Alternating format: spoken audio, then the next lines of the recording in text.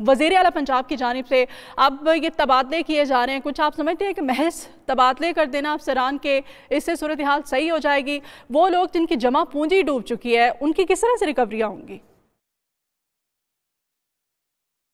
دیکھیں، یہی بدقسمتی ہے کہ ہمارے ملک کے اندر کہ جہاں پر سب سے زیادہ، جو اچھا نظام ہونا چاہیے تھا، وہ کم از کم ایک گھر کی خریداری، ایک پلاٹ کی خریداری کا نظام ہونا چاہیے تھا۔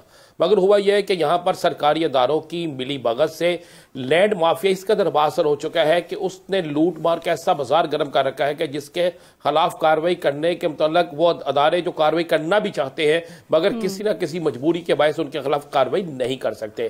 ایک رپورٹ جو کہ پنجاب بالخصوص پنجاب کے حوالے سے تیار ہوئی، تو اس رپورٹ میں یہ حیران کو نہیں انکشافات سامنے آئے، جس کے بعد بہت سی تبدیلیاں کی گئی ہیں۔ مگر ان تبدیلیوں کا اثر نہیں ہوتا نظر آ رہا۔ اس اس رپورٹ میں کہا گیا کہ پنجاب کے اندر اس وقت جتنی ہاؤسنگ سوسائٹیاں ہیں، ان میں سے ستر فیصد ہاؤسنگ سوسائٹیاں وہ ہے جو غیر قانونی ہے یعنی ان کے ان کے پاس این او سی نہیں ہے، ان کے پاس ڈیولپمنٹ کے حوالے سے کوئی چیز نہیں ہے۔ انہوں نے سرکاری اراضی بیچ میں شامل کی ہوئی ہے۔ انہوں نے جن لوگوں سے اراضی خریدی ہوئی ہے، ان کو مکمل پیمنٹ نہیں کی اور آگے لوگوں کو اراضیاں فروخت کر دی ہیں۔ لوگوں کو پلاٹ نہیں دیے گئے، نہ ڈیولپمنٹ کی گئی ہے۔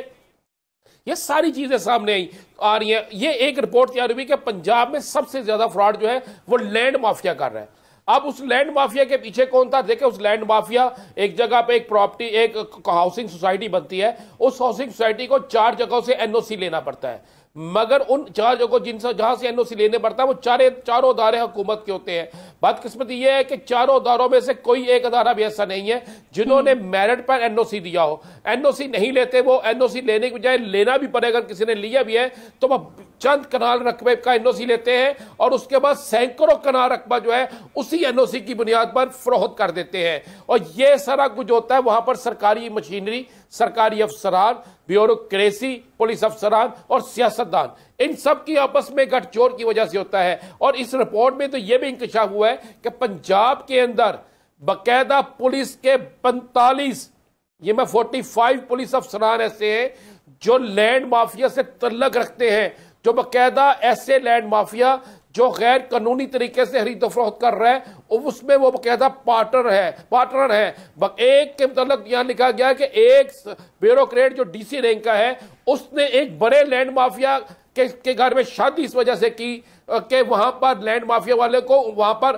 وہ سہولت دے سکے اور ان سے سہولیات لے سکے۔ ایک اعلیٰ پولیس افسر جو ہے، اس کے قریبی عزیز کی ایک بہت بڑی ہاؤسنگ سوسائٹی اس کے حوالے سے بھی انکشاف ہوا۔ یعنی اس طرح اگر دیکھا جائے تو یہاں تک لکھا گیا کہ پنجاب کے اندر زیادہ تر ہاؤسنگ سوسائٹیاں جو ہے جہاں پر سرکاری افسران ہیں بیوروکریٹس ہیں، تو وہاں پر بہت بڑی تعداد میں جو ہے سیاستدان بھی ان کے حصے دار ہیں۔ اور چار ہاؤسنگ سوسائٹی تو ایسی ہیں جس کے جو بڑے لوگ جو گروپ ہیں، جو گروپ کے ڈائریکٹر ہیں، وہ کالادن تنظیموں سے تعلق رکھتے ہیں۔ تو لہذا پنجاب کے اندر تو لینڈ مافیا کے حوالے سے بڑی خوفناک صورتحال ہے۔ اب وزیر اعلیٰ پنجاب نے یہ سوچتے ہوئے کہ اللہ کرے کہ یہ معاملہ درست ہو جائے، کیونکہ ان کے پاس بھی یہ رپورٹ موجود تھی کہ سرکاری افسران کی وجہ سے جو لینڈ مافیا کے خلاف ایکشن ہو رہا ہے، اس پر عمل نہیں ہو رہا۔ یہاں سے ٹیم جاتی ہے ایکشن کرنے کے لیے۔